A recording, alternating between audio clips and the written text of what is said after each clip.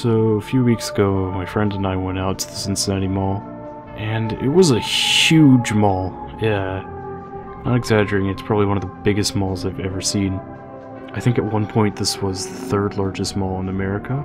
After looking up some research, it looked like a pretty thriving mall. It had some nice stuff inside of it.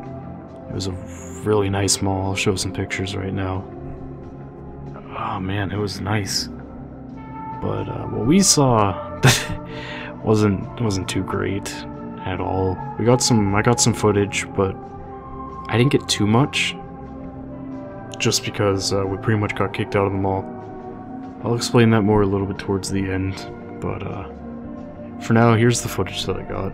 So I uh, hope you all enjoy that.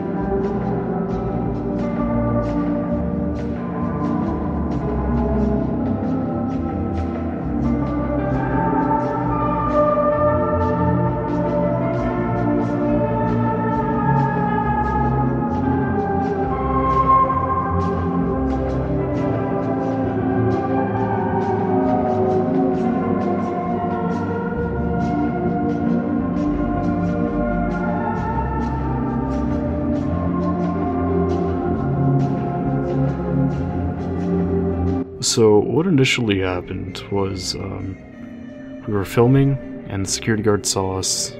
After the security guard saw us, he threatened to take away uh, my friend's camera and he threatened to take away my camera. And I, I wasn't in the mood to deal with that, so we just decided, hey, we have other places we can go. We'll just we'll leave. So that's pretty much what happened. But as we were trying to leave, people were complaining about our cameras.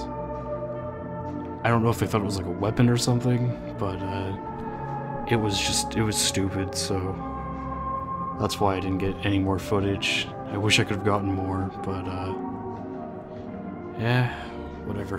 Hope you guys enjoyed what I had. Uh, more stuff should be coming soon.